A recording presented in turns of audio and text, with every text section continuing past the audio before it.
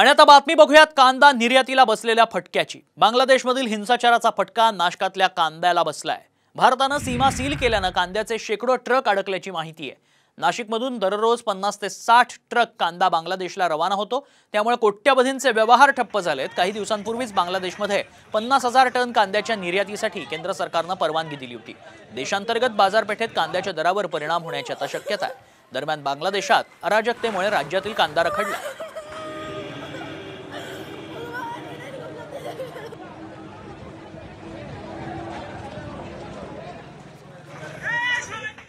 Export झाल्यामुळे कांद्याला बाजार भेटत असतो आणि बाजार भेटल्यामुळे शेतकऱ्यांना आनंद असतो व्यापाऱ्यांना आनंद असतो.